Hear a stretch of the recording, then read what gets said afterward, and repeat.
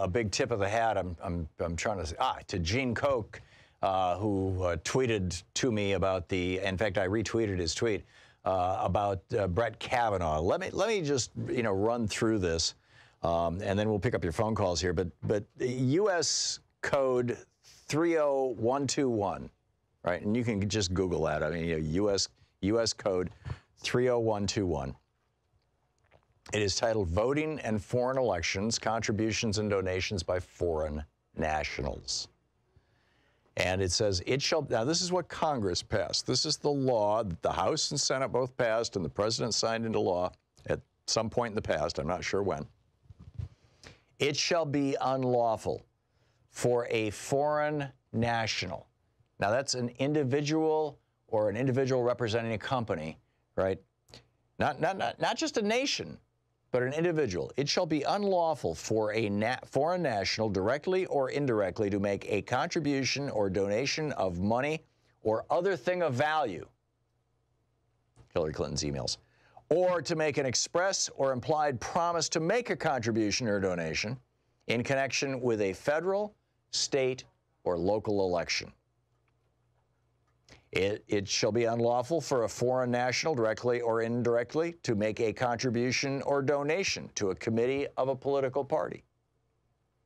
It shall be unlawful for a foreign national, directly or indirectly, to make an expenditure, independent expenditure, or disbursement for an electioneering communication. And it shall be unlawful for a person to solicit, accept, or receive a contribution or donation from a foreign national uh, and of anything of value, which is exactly what Donald Trump just said he wants to do. Okay, so that's the law. But then we get to step number two. And step number two is what happened in 2011.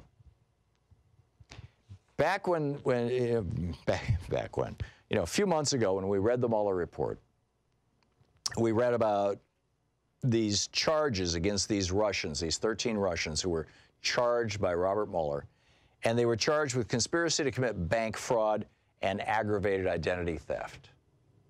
But what they were doing was trying to flip our election.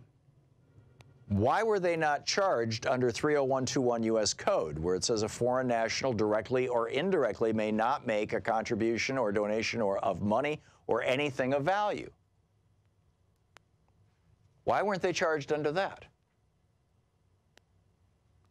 Well, it turns out that in 2011, a circuit court judge by the name of Brett Kavanaugh wrote an opinion about this law, about U.S. Code 30121. Two, two foreign nationals brought a case challenging this. oh, this was this passed in 2002. This law that bans foreign corporations or contributions to U.S. campaigns the case was Bluman versus Federal Election Commission, Bluman versus FEC.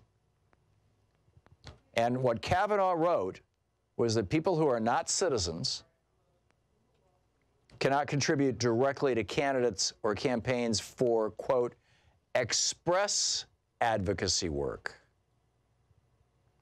But he, and I'm quoting now from, uh, from a piece in Mother Jones by Samantha Michaels, but he gutted the portion of the law that banned foreign spending that is not, quote, express advocacy. In other words, if, if a foreign government wants to run an ad that says, you should vote for Donald Trump, we love Donald Trump, that's express advocacy. That's still banned under Brett Kavanaugh's interpretation of this law. But if a foreign government runs an ad that says, let's say, you know, Trump is, ends up running against uh,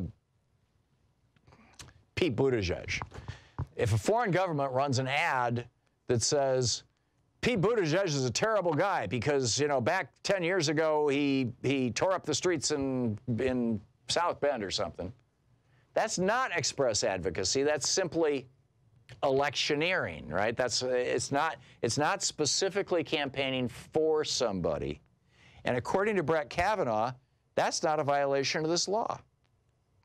And in fact, the, the, the, the, the group, uh, this, this company, uh, it's called Comport, Concord Management and Consultant and Consulting. It's run by a, a, Russian oligarch who's close to Putin, and they spent allegedly spent 1.25 million dollars a month to set up rallies here in the United States on behalf of Trump, to spread disinformation, and quoting the, the Mueller report, quote, to interfere in U.S. political and electoral processes without detection of their Russian affiliation.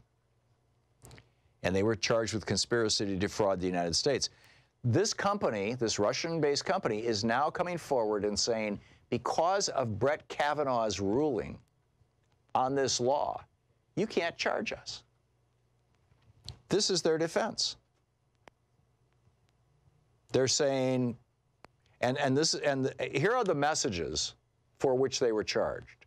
They were running Facebook ads, memes, out on Twitter and whatnot that said, and I quote, Hillary Clinton doesn't deserve the black vote. That's not express advocacy. That's not saying we love Donald Trump. Please vote for him. According to, you know, according to Brett Kavanaugh's ruling on this law. They had another one. This is another one. It said Hillary is Satan and her crimes and lies have proved just how evil she is. Well, that's not express advocacy.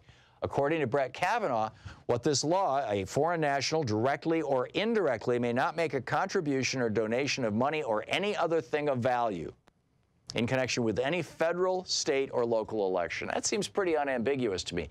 But Brett Kavanaugh says, no, no, no, no. That means you can't you can't do it if you're expressly advocating for a particular candidate.